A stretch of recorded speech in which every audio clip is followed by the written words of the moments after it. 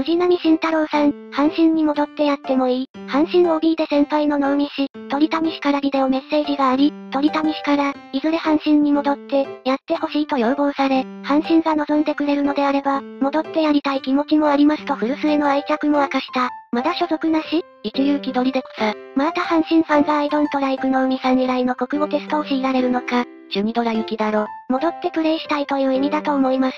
藤波、阪神ファンが頭を下げれば考えてやらんこともない。戻ってやらなくもない。阪神は何は節やからな。戻ってくるとなればオファー出しそう。数年メジャーで渡り鳥っぽいムーブしてすっかり変わってほしい。感謝してやるっぽい。去年の後半、今までにないぐらい良くなったと思ったら渡米してもうた。そら世界の富士が阪神とかいうローカル球団でやることないからな。言うて藤波はスターだからな。言うて藤波は地区優勝チームに所属してたから。成績とはかけ離れたスター性と態度よな。鳥谷、阪神に戻ってやってほしい。何をやるんですか？マジで言ってて草。戦力的に今の阪神に必要なんか？戻っても使うとこないよな。戻ってやりたいとか上から目線やな。国語ができないアホは無理だし。ここまで自分に自信持てるのは逆にすごいわ。あの成績でどやれるんだからポジティブ思考の大事さがようわかる。やりたいのはわかるけど元からそこまで居場所なかったやろ。自分いなくなってすぐ優勝って割とショックやろな。